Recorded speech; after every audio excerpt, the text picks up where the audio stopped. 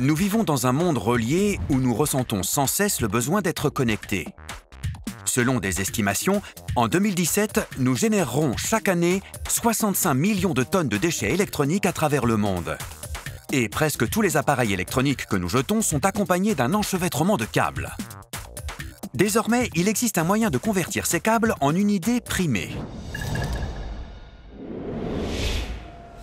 Universal Scrap Metals, l'un des plus gros gestionnaires de déchets métalliques d'Amérique du Nord, traite près de 55 000 kg de câbles par jour. Des câbles haute technologie, aux câbles domestiques, en passant par des rallonges électriques.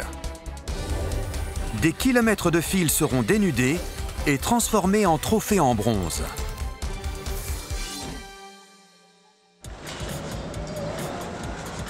Le procédé commence dans une usine où les ouvriers ramassent, coupent et trient les câbles rebutés pour isoler le cuivre qu'ils renferment.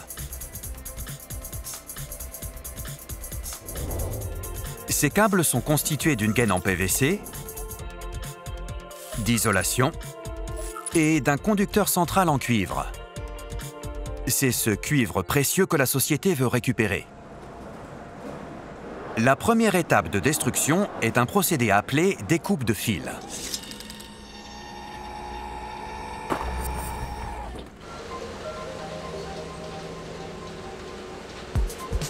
Avant de pouvoir séparer le fil cuivré du plastique, on doit le couper en petits morceaux.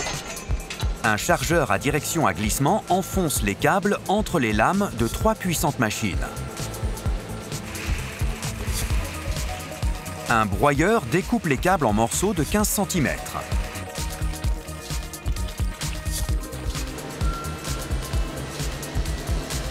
Un second broyeur les réduit encore en morceaux de 7 cm et demi.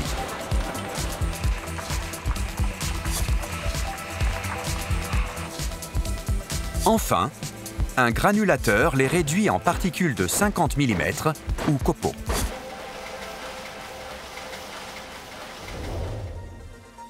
Les copeaux traversent un broyeur à percussion.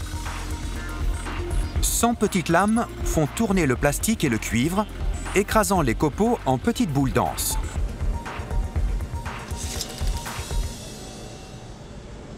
Les petites boules de cuivre et de plastique rebondissent le long d'une table vibrante.